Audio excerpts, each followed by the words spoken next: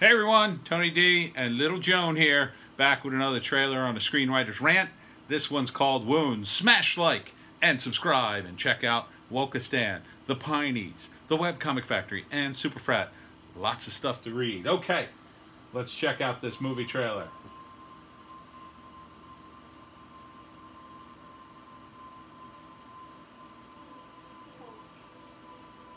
It's a Netflix film.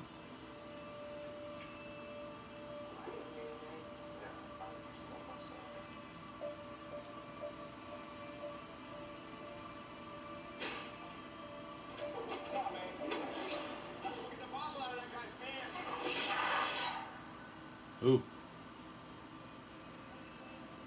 Oh, this is getting nasty. It's probably one of the kids. This were you talking to last night? descent into horror. I don't know, a bar fight that descends into horror. That's kind of intriguing if that's what happens. There's something on this phone here. I think something something's here with me. We shouldn't have messed with those books. I'm scared. Was these college kids left a cell phone there. I, went through it to see whose it was. You want see? It's awful.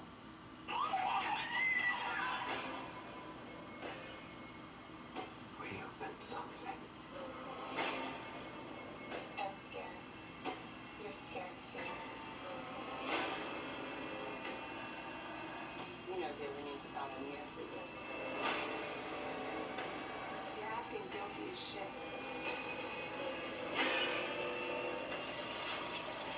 Ugh.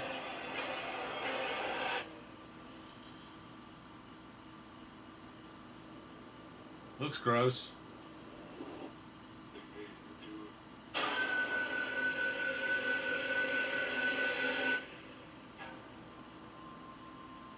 Hmm. Lot, lot of gross stuff going on in that horror movie. Um, you got the bugs, you got the mysterious bleeding, you've got uh, books, ancient books of some kind. You've got kids messing around with supernatural forces. This movie's got a lot in it. I, you know, I think my gut feeling is it's kind of just heaping on a lot of horror elements. Yeah. You know, uh, one of the more interesting horror movies in recent years was The Babadook. And I think one of the reasons it's such an interesting movie is the relationship between the mother and the son and how the status changes in that movie. And you kind of don't know where you're at, and you're it's creepy, it's weird. First the kid's like this maniac and you hate him and then like you realize, "Oh, wait a minute. Maybe it's good he's that way because this is the only kind of kid that could survive this."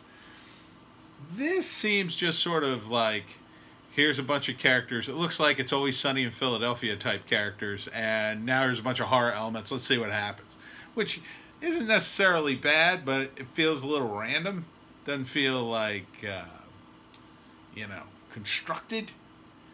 So, on the one hand, I kind of like horror, but on the other hand, if it's that random of setup, could they really have a plan for the ending? Because a lot of these movies are about the ending, you know, a shocking ending, but not just something that, you know, it says in the review there, comes out of left field. Well, you don't want it too far out of left field, then you're like, well, wait a minute, why did that happen? You know, it has to make sense within the confines of the supernatural thing, whatever it is. You know, the Babadook made sense in its own weird way. It was weird, but it kind of made sense. And there weren't a lot of elements to it, so, you know, you couldn't start saying, well, what if this happened or this happened? There were only a few things that happened in the damn movie. This has a lot of characters in it, a lot of stuff could happen, so, you know, I have my doubts, but it's on Netflix, and if you got Netflix, um, you know, it does look like it's made well. It's got a lot of horror elements in it, and therefore, I think you could at least check it out. And if it sucks, you could always fast forward it or just click on the Trailer Park Boys.